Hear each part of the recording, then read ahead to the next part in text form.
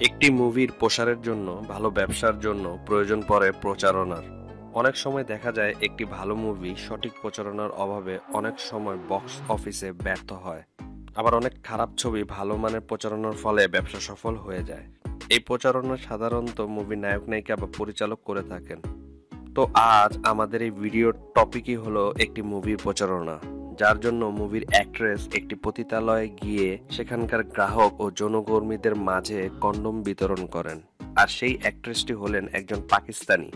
এই পুরো বিষয়টি সেই সময় খুব আলোড়ন তুলেছিল। তো মূল টপিকে আসা যাক। ভিনা মালিক, যিনি কিনা একজন পাকিস্তানি অ্যাক্ট্রেস যার গ্লামার ওয়ার্ল্ডে ক্যারিয়ার শুরুই হয় পাকিস্তানের মডেলিং দিয়ে।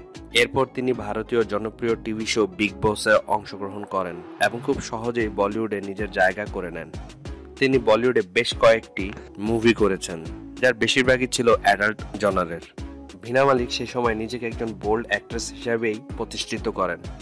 তো দুই হাজার তেরো সালে ভিনা মালিকের একটি মুভি জিন্দিগি ফিফটি ফিফটি রিলিজ হয়। আর সেই মুভির প্রচারণার জন্য ভিনা মুম্বাইয়ের রেড লাইট এরিয়ায়, অর্থাৎ এক প্রাচীন পতিতালয়ে পরিদর্শন করেন এবং সেখানকার সকল গ্রাহক ও যৌনকর্মীদের মাঝে কন্ডম বিতরণ করেন।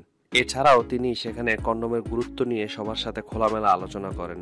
ভিনা কন্ডম বিতরণের পাশাপাশি সেখানে সবার সামনে বিভিন্ন রকমের পোজ দিয়ে ছবি তোলেন। যৌনকর্মীদের সাথে সেলফি তোলেন। তাকে দেখার জন্য সেখানে ভিড় লেগে যায়।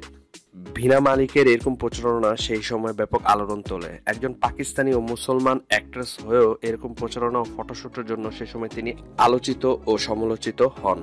তবে এত কিছুর পরও ভিনা মালিকের সেই ছবিটি ব্যবসা সফল হয়নি, আর ভিনাও বলিউডে বেশি দিন তার জায়গা ধরে রাখতে পারেনি, তিনিও হারিয়ে যায়।